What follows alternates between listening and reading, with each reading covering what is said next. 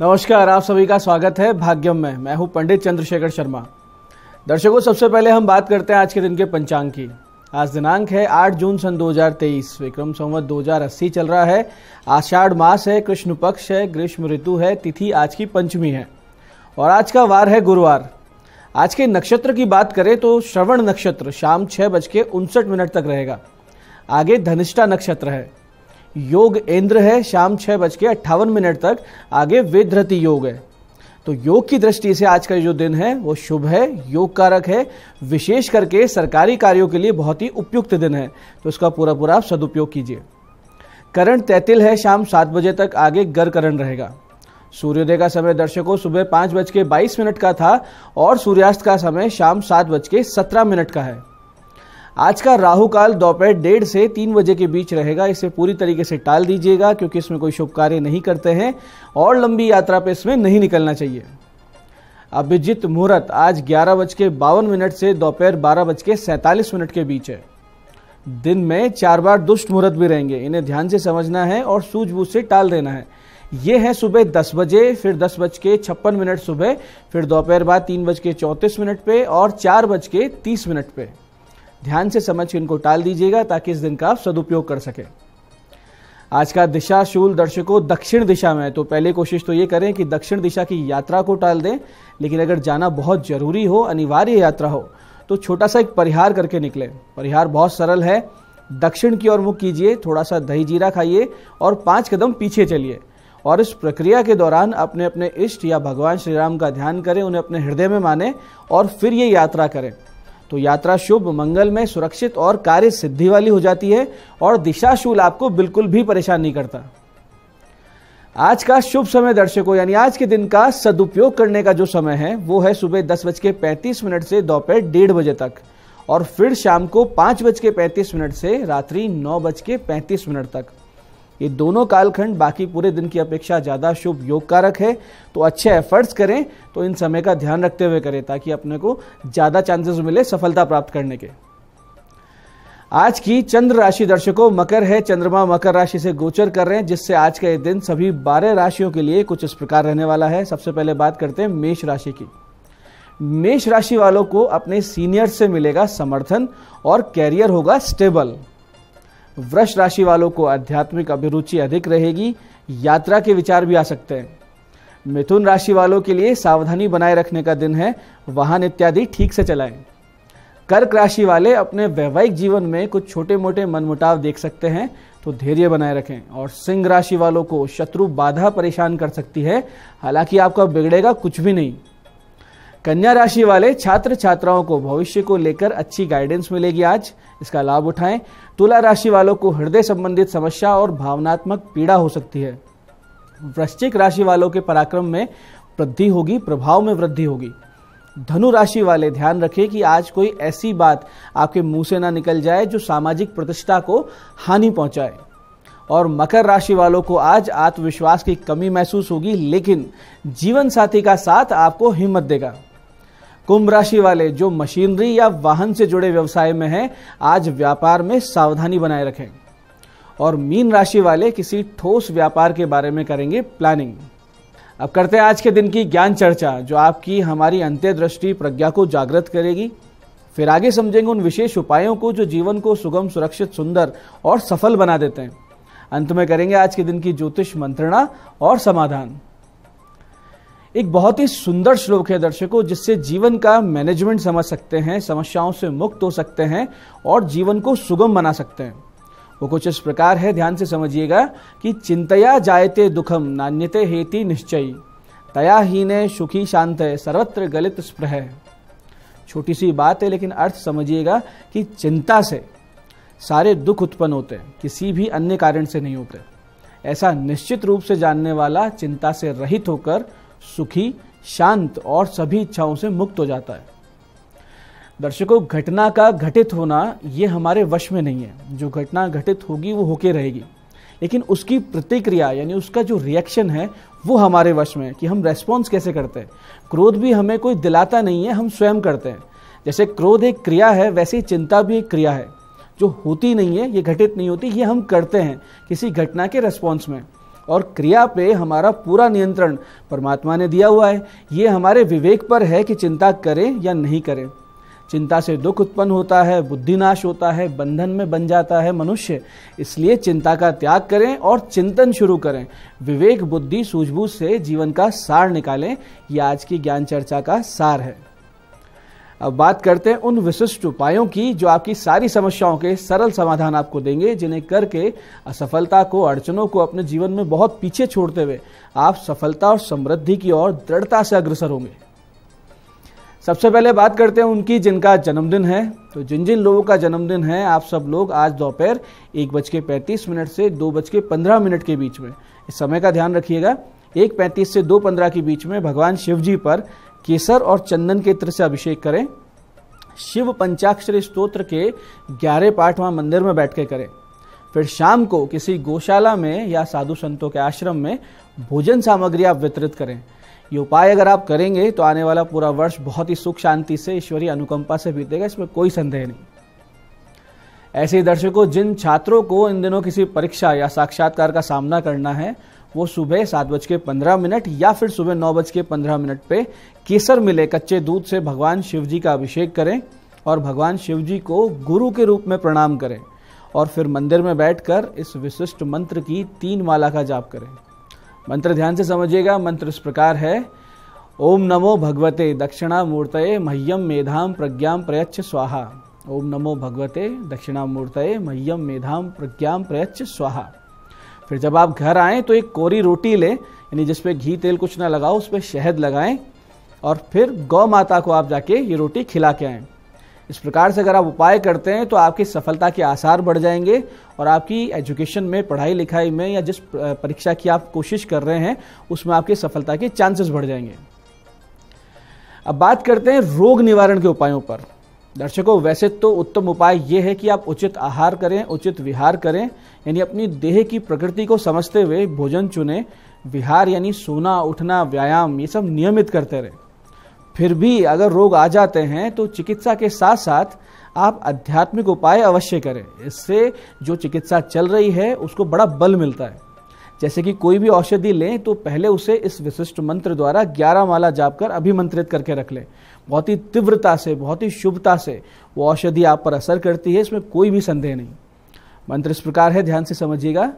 ओम रीम सर्वते सर्वते श्रीम क्लीम सर्वौषधि प्राणदायिनी नैत्य नमो नमे स्वाहा। मंत्र फिर से समझिए। ओम रीम सर्वते सर्वते श्रीम क्लीम सर्वौषधि प्राणदायिनी नैत्य नमो नमे स्वाहा। ऐसे ही कभी कोई गंभीर रोग लंबे समय से चल रहा हो या बार बार बुखार आती हो या फिर बेवजह शरीर गिरता जा रहा है, कमज़ोरी आती जा रही है तो रोगी या तो स्वयं या फिर उसके परिवार का कोई सदस्य इस विशिष्ट मंत्र की उपासना को निश्चित रूप से करे। विधान समझिएगा, विधान इस प्रकार है कि या तो रोगी स्वयं 21 दिन तक पाँच माला का जाप कर ले या परिजन में से कोई इस प्रकार से जाप करे और 22वें दिन गंगा जल को अभिमंत्रित कर रोगी को वो जल नित्य पिलाना शुरू कर दे। मंत्र ध्यान से समझिएगा, बहुत ही विशेष मंत्र है।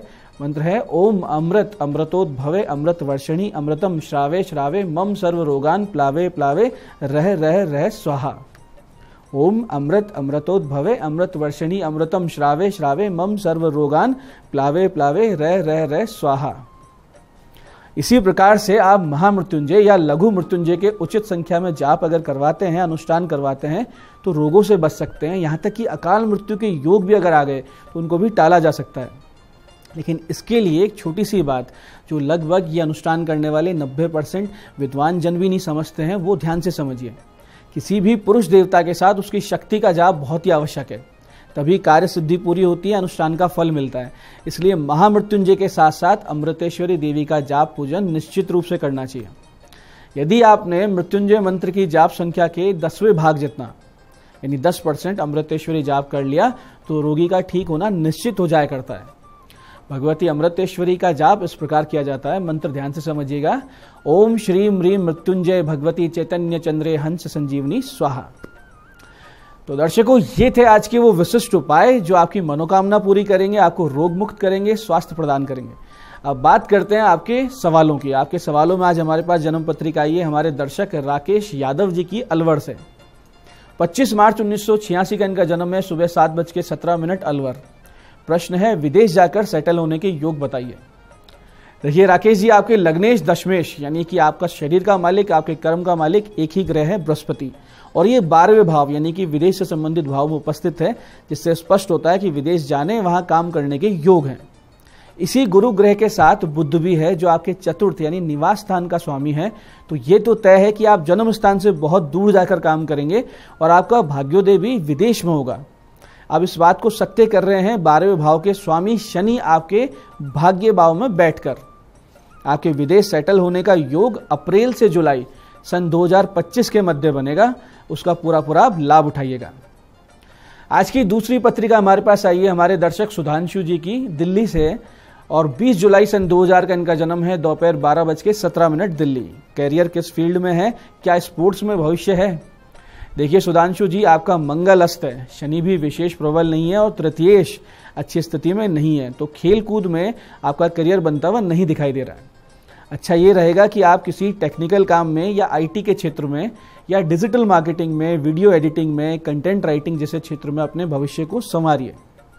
उत्तम फल प्राप्ति के लिए आप एक मोती अवश्य पहनिए और नीम पीपल बरगद के पौधे शनिवार के दिन किसी मंदिर के पास लगा दीजिए। आपका अच्छा समय सितंबर 2026 से शुरू हो जाएगा। पूरा पूरा उसका लाभ उठाइए। तो दर्शकों, ये था आज का पंचांग, आज के विशिष्ट उपाय और ज्ञान चर्चा। मैं पंडित चंद्रशेखर शर्मा ये आशा करता हूँ कि बताए उपायों को सही विधि, सटीक समय पर करके आप पूरा लाभ उठाएँगे। और जो ज्ञान चर्चा, सत्संग हमने किया, समझा हमने कि चिंता कितनी बुरी चीज़ है और चिंतन कितना अच्छा चीज़ है, विवेक कितनी अच्छी चीज़ है, उसे अपने जीवन में उतारेंगे और जीवन को सुखी, समृद्ध ईश्वरमय और एक आदर्श जीवन में परिवर्तित करेंगे।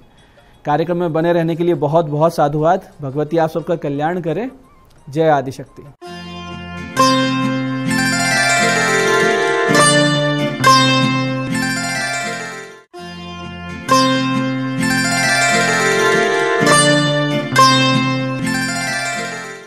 नमस्कार, मैं हूँ दीप्ति शर्मा और आप सभी का स्वागत करती हूँ न्यूज़ 18 के हमारे इस खास कार्यक्रम भाग्यम में। और भाग्यम के भी इस सेगमेंट में जहाँ पर आप और हम हर रोज टैरट कार्ड के ज़रिए जानते हैं कि आज का हमारा दिन कैसा गुजरने वाला है और हम ऐसा क्या करें और किन बातों को करने से बचें जिससे आज के दिन को हम और भी खूबसूरत और बेहतरीन बना सकते हैं। और इसके लिए दोस्तों, हम न्यूमरोलॉजी के हिसाब से एक से लेकर नौ मूलांक तक की रीडिंग करते हैं। और कौन सी रीडिंग आपके लिए होगी? कौन सा मूलांक है आपका? उसके लिए अगर आपने हमारे प्रोग्राम को रिसेंट ज्वाइन किया है तो मैं आपको बताना चाहूँगी कि अगर आपकी डेट ऑफ़ बर्थ है 27 यानी कि 27 तो दो और सात को जब आप जोड़ते हैं तो जोड़ आता है नंबर नौ। तो नंबर नौ होगा आपका मूलांक। और आज की तारीख है 8 जून 2023 और आज की जो तारीख है, उनके स्वामी हैं शनि। और शनि न्याय प्रिय देव हैं। बहुत सारे लोग शनि से डरते हैं। शनि का क्या इम्पैक्ट पड़ने वाला है? एक से लेकर नौ मूलांक के जातकों पर आइए हम जानते हैं। लेकिन जब हम प्लानट शनि की बात कर ही रहे हैं तो कुछ चीज़ों को मैं क्लियर करना चाहूँगी कि हमें शनि से कभी डरने की आवश्यकता नहीं है, क्योंकि ऐसा कहा जाता है कि शनि तो सबसे बेहतरीन प्लानट है। सबसे अच्छे प्लानट है। क्यों? क्योंकि शनि आपको क्या करते हैं? फल प्रदाता है, यानी कि रिज़ल्ट देते हैं। अब रिज़ल्ट किन चीज़ों का? रिज़ल्ट है कर्मा का। जो भी हमने कर्म किया है, उसका रिज़ल्ट हमें प्राप्त होना ही होना है। बस एक चीज़ होती है, जब शनि चल रहे होते हैं, चाहे साढ़े साथी में, या फिर ढैया, या पनौती, उस वक्त एक ही चीज़ होती है। वो ये है कि चीज़ों में डिले हो जाता है। चीज़ें थोड़ी देरी से प्राप्त होती हैं, लेकिन मिलती अवश्य हैं। ये गारंटी है कि मिलती अवश्य है। समय लगता है, लेकिन मिलता अवश्य है। अब मिलेगा क्या? जो हमारे कर्म होंगे। जाने अनजाने, मनसा वाचा कर्मणा, हमने जो कर्म किए हैं, उनका प्रतिफल हमें प्राप्त करते हैं, हमें प्राप्त होता है और देने वाले होते हैं शनिदेव। तो शनि हमें बहुत अच्छा रिज़ल्ट देते हैं। अगर हमने अच्छा काम किया है, मन से, वचन से और अपने कर्म से, किसी को भी दुख ना पहुंचाएँ, ऐसा प्रयास करें। किसी भी जीव को, किसी भी प्राणी को हमें हर्ट नहीं करना है, इस बात की हमें कोशिश करनी चाहिए। दूसरा, हमें हनुमान जी की उपासना करनी चाहिए। हनुमान जी की उपासना करने से कहा जाता है कि दुष्प्रभाव जो है वो कम हो जाते हैं। तीसरा दशरथ कृत शनि स्त्रोत्र का हम पाठ कर सकते हैं। या शनि देव का जो मंत्र है, हम उसकी उसकी जाप भी, उसकी उपासना भी कर सकते हैं। साथ ही साथ कहा जाता है कि काली वस्तुओं का दान करने से भी शनि जो है वो प्रसन्न होते हैं। काली वस्तुएँ जिसमें काला तिल, उड़द, छाता, जूते, काले रंग के, इस तरह की कुछ चीज़ों का आप दान कर सकते हैं। साथ ही साथ ये भी कहा गया है कि अगर आप शनिवार के दिन सरसों के तेल का उसमें प्रतिबिंब अपना देखकर और उसके बाद उसे आप दान करने जाते हैं तो इसे छाया दान कहा जाता है। तो आप अगर आप दान करने जाते हैं तो इसे भी अच्छा माना जाता है। देखिए, हम अपने कर्मा से तो नहीं भाग सकते, क्योंकि जो हम करके आए हैं या जो हम कर रहे हैं, प्रतिफल तो उसका हमें प्राप्त तो होना ही है या होता ही है। लेकिन जो आज की चीज़ें हैं, हम उसे सुधार के अपने आने वाले कल को सुधार सकते हैं। तो हम कोशिश करें कि हम हमेशा अच्छे कर्मा करें, मन से, वचन से और कर्म से। आइए दोस्तों, बिना देर के अपने कार्यक्रम की हम शुरुआत करते हैं। और जानते हैं मूलांक एक के लिए आज हमें परमात्मा क्या गाइडेंस दे रहे हैं कि आज मूलांक एक का दिन कैसा गुजरने वाला है और मूलांक एक के जातकों को क्या करना चाहिए और किन बातों को करने से बचना चाहिए। आज 8 जून 2023 के लिए और हमसे कहा जा रहा है, सौरों का कार्ड है। आपका लकी नंबर है नंबर नौ, और आपको कहा जा रहा है किसी प्रकार की आज थोड़ा सा आप दुखी रह सकते हैं, कोई ऐसा दुखद समाचार प्राप्त हो सकता है या फिर आपकी एक्सपेक्टेशन के मुताबिक, आपके मुताबिक कार्य में किसी प्रकार का व्यवधान आ सकता है, किसी प्रकार से आपका दिल जो है वो दुख सकता है। तो कुल मिला के आज का दिन आप थोड़ा सा भावनात्मक रूप से, मानसिक रूप से जो है वो दुख महसूस करेंगे। लेकिन कहीं ना कहीं इसके पीछे भी एक सकारात्मक कारण है। देखिए, सूर्य का अंक है और शनि का अंक है, तारीख शनि की है तो सूर्य और शनि पिता पुत्र तो हैं, लेकिन कहीं ना कहीं जो सबसे कहा जाता है कि वो शत्रु राशि भी हैं। तो आज के दिन आपको थोड़ा सा कार्य में बाधा आ सकती है, किसी प्रकार की परेशानी हो सकती है, लेकिन आज आपको क्या करना है? आज के दिन आपको हनुमान जी की उपासना करनी है। हनुमान मंदिर अवश्य जाएँ और उनके जो बाएँ कंधे का या फिर चरणों का जो सिंदूर है, उसे अपने माथे के साथ, गले के साथ अपनी नाभि में अवश्य लगाएँ। आपका दिन शुभ हो। आइए जानते हैं मूलांक दो के लिए हमें परमात्मा आज क्या गाइड कर रहे हैं। 8 जून 2023 के लिए और मूलांक दो के लिए हमसे कहा जा रहा है थंडर बोल्ट का कार्ड है। आज के दिन कुछ बड़ा आपके साथ हो सकता है। कुछ अचानक से एक घटना घटित हो सकती है जो आपके लिए एक्सपेक्टेड नहीं थी। कुछ ऐसा घटित होगा जो कि आपको लगेगा कि सब कुछ बना बनाया जो था, वो बिगड़ गया। आज जितनी मेहनत करी थी, सब बेकार हो गई। लेकिन कहीं ना कहीं जो भी कुछ होगा, उससे आपका जो इनर पीस है, वो बिल्कुल भी प्रभावित नहीं होना चाहिए। जितना ज़्यादा आज आप शांत रहेंगे, जितना ज़्यादा अपने आप को परमात्मा की शरण में रखेंगे, उतना ही ज़्यादा आप आपको फुल सपोर्ट मिलेगा डिवाइन का और आपको आगे बढ़ना, बढ़ने में आपकी सहायता होगी। आपका दिन शुभ हो। आइए जानते हैं मूलांक तीन के लिए हमें परमात्मा आज क्या गाइड कर रहे हैं। आज 8 जून 2023 के लिए और मूलांक तीन के लिए हमसे कहा जा रहा है ट्रस्ट का कार्ड है, आपको कहा जा रहा है कि आज के दिन जो भी कोई आप काम कर रहे हैं, जिन लोगों के आप साथ काम कर रहे हैं, अगर आपके मन में कोई डाउट है किसी व्यक्ति के लिए तो डिवाइन आपसे कह रहे हैं, भरोसा रखिए, वो व्यक्ति आपके लिए काम का है, आपको डिवाइन ने ही भेजा है उस व्यक्ति को आपकी सहायता करने के लिए। तो आज का दिन, जो भी कोई पर्सन आपकी लाइफ में आ रहे हैं, जो भी कोई अपॉर्चुनिटीज़ आपकी लाइफ में आ रही है, या किसी प्रकार का हर्डल भी आ रहा है तो आज के दिन आपको क्या करना है? एक्सेप्टेंस के भाव में रहना है। शांत रहना है, विश्वास करना है परमात्मा परमात्मा की बनाए हुए नियम को परमात्मा ने जो आपके लिए रच रखा है, उसके ऊपर थोड़ा सा आज आपको भरोसा रखने की आवश्यकता है। जितना ज़्यादा सरेंडर के भाव में रहेंगे, जितना ज़्यादा शांत रहने की कोशिश करेंगे और उलझेंगे नहीं लोगों के साथ, उतना ही आपके लिए अच्छा है। आपका दिन शुभ हो। आइए जानते हैं मूलांक चार के लिए हमें परमात्मा आज क्या गाइड कर रहे हैं। आज 8 जून 2023 के लिए और मूलांक चार के लिए हमको कहा जा रहा है। इंटेंसिटी का कार्ड है, आपको कहा जा रहा है, आज के दिन की आपकी एनर्जीज बहुत पावरफुल है। आज के दिन आप बहुत शक्तिशाली ऊर्जा महसूस करेंगे और आपके काम, आप इस तरह जल्दी जल्दी आपके कार्यों को आप पूरा करेंगे जो कई दिन से अटके हुए थे। आप देखेंगे कि जैसे आज एकदम स्पीड पकड़ ली है, लोग आगे बढ़ के आपको फ़ोन कर रहेंगे आपको आगे बढ़ के सपोर्ट करेंगे हाँ जी, काम का क्या हुआ, कैसे करना है, हम आगे बढ़ के काम करें, इस तरह की चीज़ें आज आपके साथ हो सकती हैं। तो आज के दिन की ऊर्जाओं का आपको सदुपयोग करना है।